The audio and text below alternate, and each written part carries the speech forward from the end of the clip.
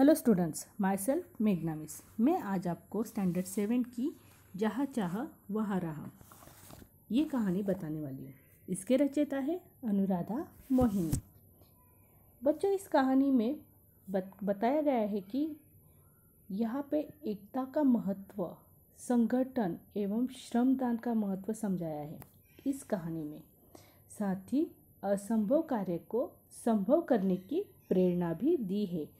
लेकिन यहाँ पे सिर्फ़ बड़ों की, बड़ों का कार्य नहीं है तो यहाँ पे बच्चों का कार्य है। उनकी सहायता से गाँव की प्रगति कैसी होती है, ये यहाँ पे बताया गया है। देखते हैं, कहानी क्या है? ये सभा गाँव की पाठशाला की घंटी बजी। ए सभा ए सभा ये गाँव का नाम है। पाठशाला यानी स्कूल की घंटी बजी। धुआंधार बरसात हो रही थी। अभी क्या है, बरसात का मौसम तो चल ही रहा है। धुआंधार यानी बहुत बरसात हो रही थी।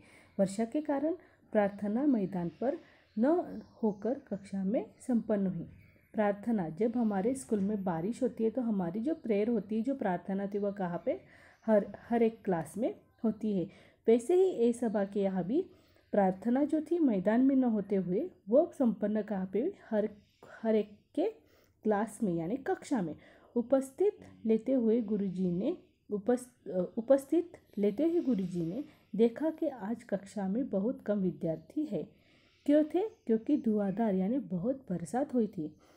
आज इतने विद्यार्थियों की उपस्थिति, अनुपस्थिति रहने के कारण कारण क्या है? यानी जब टीचर जो, यानी शिक्षक जो क्लास में आए तो बच्चों को देखा तो अनुपस्थिति यानी अपसेंट बहुत थी। सॉरी बच्चों में। तो शिक्षक भी बोलने लगे कि आज बच्चों की अपसेंटी इतनी कम क्यों है? उन्होंने उन्होंने विद्यार्थियों से पूछा। वही नाला गुरुजी सब, सबने यह स्वर में उत्तर दिया। वही नाला यानी गाँव के उस तरफ़ स्कूल होगी और बीच में क्या है? नाला है बहुत बड़ा। और सब बच्चों ने क्या दिया? वही नाला गुरुजी। ए सभा गाँव के ठीक बीच से एक नाला बहता था। देखो मैंने बोला ना ए सभा गाँव यानी ए सभा जो गाँव है उसके बीचों बीच एक नाला बहता था। गाँव की बस्ती नाले के एक तरफ़ थी पाठशाला और खेत दूसरी तरफ़। यानी बस्ती एक साइड में थी और दू, दूसरी साइड में क्या था? पाठशाला और खेत। यानी लोगों के खेत जो थे खेत खलियान वो दूसरी तरफ़ और पाठशाला भी उसी तरफ़ थी और बीच में क्या था? नाला था। बच्चे भी एक स्वर में ही बोलने लगे। बरसात के दिनों में नाले में कई बार चार से पाँच फीट तक पानी भर जाता था। देखो बच्चों, यानी चार पाँच फीट, यानी बच्चे क्या हो जाएँगे? नाला पार नहीं कर सकते। बड़े बुज़ुर्ग तो किसी तरह अपने गाय बैलों के साथ नाला पार कर खेतों में चले आते हैं। किंतु पाठशाला आने के लिए नाला लांगना विद्यार्थियों के लिए असंभव है। ऑब्वियसली नाला नाला जो था वो बहुत बड़ा था और उसको पार करना थे, वो अपने बैलगाय के साथ वो आराम से नाला पार कर सकते थे। जब जब चोरों की बारिश होती, उस दिन कक्षा में विद्यार्थियों की उपस्थिति पर असर पड़ता। उपस्थिति यानी प्रेजेंट या उनकी उपस्थिति पर असर पड़ता, यानी वो क्या है, बहुत से बच्चे पाठशाला नहीं आ पाते थे। अनेक बार विद्यार्थी पूरे सप्ताह पाठशाला नहीं जा पाते। अनेक बार विद्यार्थी पूरे सप्ताह यानी फुल वीक जो है फुल वीक जो है वो क्या करते थे? पाठशाला नहीं जा पाते थे।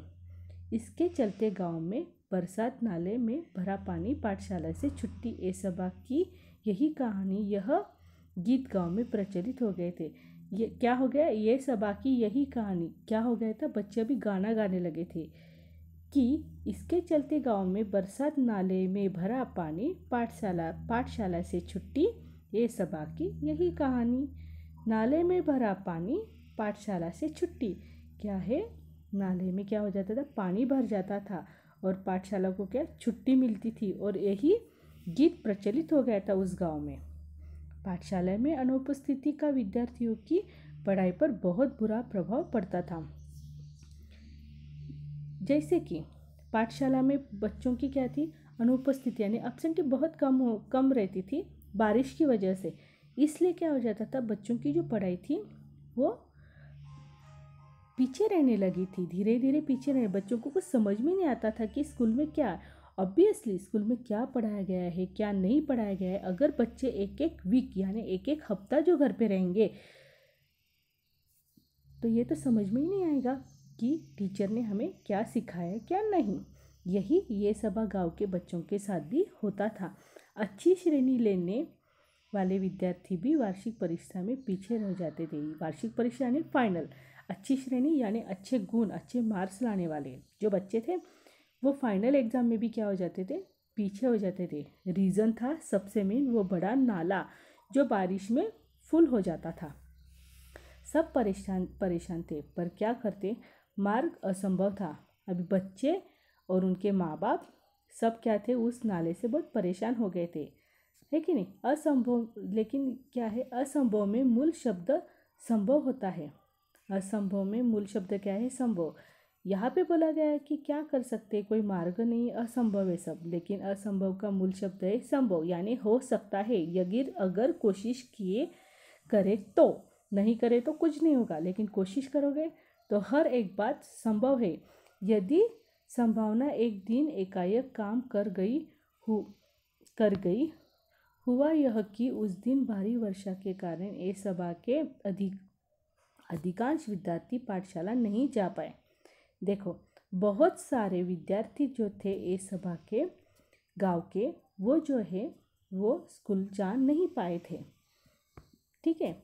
यानी क्यों? रीज़न था वो बड़ा नाला। सो दोपहर बाद बरसात थोड़ी रुकने पर चौपाल में बरगद के पेड़ के नीचे चबूतरे पर बैठे वे आपस में बातचीत करने लगे। अभी क्या हो गया था? चौपाल यानी एक बड़ा सा पेड़ उसके नीचे जो था वो सीमेंट का जो वरंडा बोलते हैं ना, वो बनाया हुआ था और वहाँ पे सब बच्चे जो थे दोपहर में आके बैठ गए बातचीत करने के लिए। ठीक है? बातचीत करने के लिए बैठने के बाद आपस में बातचीत करने कर रहे थे। तभी तुषार ने कहा, अरे, इस बरगद के पेड़ पेड़ में भूत है। अचानक से तुषार बोला, सब जो स्टूडेंट्स थे, जो स्कूल नहीं जा पाए थे, वो सब दोपहर को बैठने, बैठे एक बरगद के पेड़ के नीचे, यानी बनियान ट्री के नीचे। और वही अचानक तुषार क्या बोलता है, इस पेड़ के, पेड़ पर क्या है? भूत है। यहाँ क्यों है बे, यहाँ क्यों बैठे हो? भूत भूत सब कोरी कल्पना है।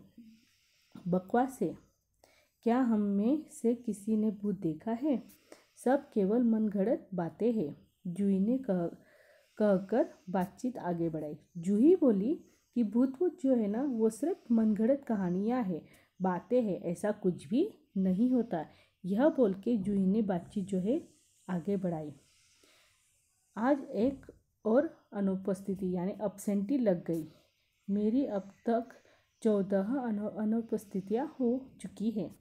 बरसात में उज्ज्वला ने परेशानी भरे स्वर में कहा, अभी क्या है? उज्ज्वला, जूही और तुषार, ऐसे कुछ बहुत से फ्रेंड्स थे, वो अचानक से वहाँ पे एक दोपहर में बरसात कम हुई और वो आके बैठे। तुषार बोलता है, यहाँ पे क्या है? इस पेड़ के नीचे भूत है। जूही बोलती ये सब बकवास है। ऐसे बोल के जूही ने बातचीत आगे बढ़ाई और बोली कि मेरी कुल मिला के चौदह छुट्टी हो गई स्कूल की। रीज़न सिर्फ़ था वो बड़ा नाला। हुँ? आगे का लेसन में, आगे के लेक्चर में सिखाऊँगी।